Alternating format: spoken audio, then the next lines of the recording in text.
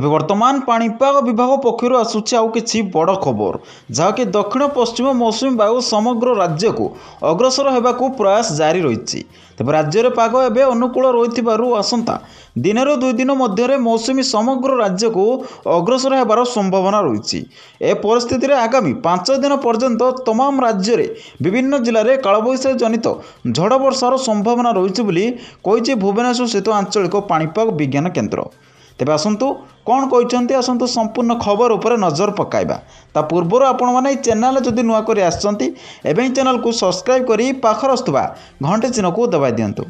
ତେବେ ଆଗାମୀ ଚବିଶ ଘଣ୍ଟା ମଧ୍ୟରେ ଅର୍ଥାତ୍ ମଧ୍ୟାହ୍ନ ସୁଦ୍ଧା ଓଡ଼ିଶାର ଜିଲ୍ଲାଗୁଡ଼ିକରେ ଗୋଟିଏ କିମ୍ବା ଦୁଇଟି ସ୍ଥାନରେ ବର୍ଷା ସହ ବଜ୍ରପାତ ହେବାର ସମ୍ଭାବନା ରହିଛି।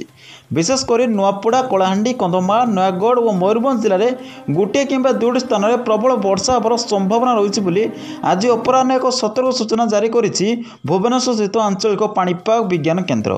ଏହାକୁ ଦୃଷ୍ଟିରେ ରଖି ଭୁବନେଶ୍ୱର ସ୍ଥିତ ଆଞ୍ଚଳିକ ପାଣିପାଗ ବିଜ୍ଞାନ କେନ୍ଦ୍ର ପକ୍ଷରୁ ଏହିସବୁ ଜିଲ୍ଲା ପାଇଁ ୟେଲୋ ୱାର୍ଣ୍ଣିଂ ମଧ୍ୟ ଜାରି କରାଯାଇଛି।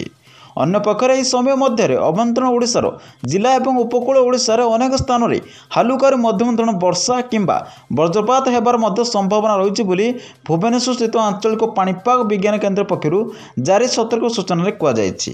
ଅନ୍ୟପକ୍ଷରେ ଭୁବନେଶ୍ୱର ଓ କଟକ ଆଖପାଖ ଅଞ୍ଚଳରେ ଆକାଶ ଆଂଶିକ ମେଘୁଆ ରହିବା ସହ ଭୁବନେଶ୍ୱରରେ କିଛି କିଛି ସ୍ଥାନରେ ମଧ୍ୟମ ଧରଣର ହାଲୁକା ବର୍ଷା ସହ ବଜ୍ରପାତ ଓ କଟକରେ କିଛି ସ୍ଥାନରେ ହାଲୁକାର ବର୍ଷା ସହ ବଜ୍ରପାତ ହୋଇପାରେ।